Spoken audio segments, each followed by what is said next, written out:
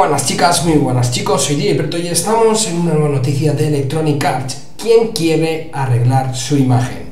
Recordemos que Electronic Arts ha sido la peor compañía por segundo año consecutivo. Y es que Electronic Arts no quiere ser la peor compañía de América y durante una entrevista en Kotaku, Andrew Wilson, CEO de EA, ha hablado acerca de las razones por las que cree que la compañía ha sido elegida como la peor compañía en América por los consumidores, con los consumidores, perdón, durante dos años seguidos consecutivos. Además, ha comentado cómo intentarán arreglar su imagen por este título. Y dice así, hay un montón de grandes empresas públicas que hacen una gran cantidad de dinero y que son queridos por los consumidores. Eso se debe a que los consumidores obtienen valor de esa empresa gracias a su inversión en dólares y tiempo.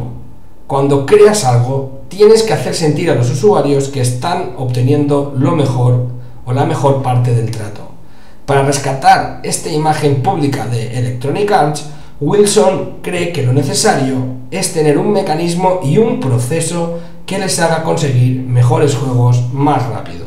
Así que ya sabéis, ¿estáis de acuerdo con lo que piensa Andrew Wilson o continuará Electronic Arts siendo el año que viene la peor compañía de América? Quiero que me comentéis si estáis de acuerdo en esta afirmación y ya sabéis, como siempre informando a la última, like y favoritos y nos vemos en la siguiente. Chao.